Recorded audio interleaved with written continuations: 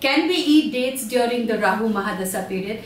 I need you to understand the Rahu Mahadasha um, uh, lasts for almost about 18 years. Now, do you mean to say that you won't be eating dates uh, all these 18 years? Well, it's absolutely baseless.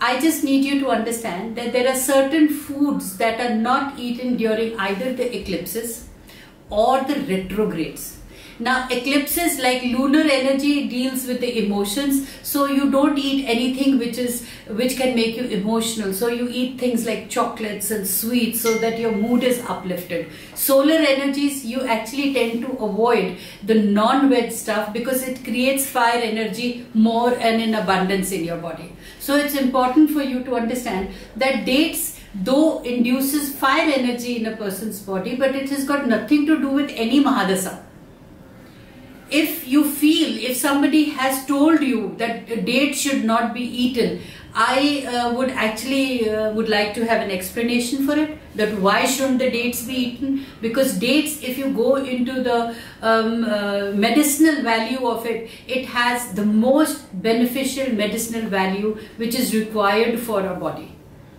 It makes your mind clearer it helps you in your uh, digestion it also helps you somewhere when people are wanting to lose weight because dates are usually taken uh, by the Mohammedans if you see when the Ramzan is there and when they have to keep fast so that they don't feel thirsty.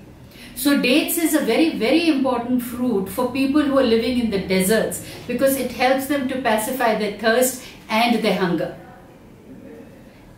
Go rationally into things when somebody tells you don't eat this and don't eat that. You must question the person why not eat that. So my simple explanation to you is don't get into the nitty gritty of things. Be practical and rational in life and don't be superstitious at all.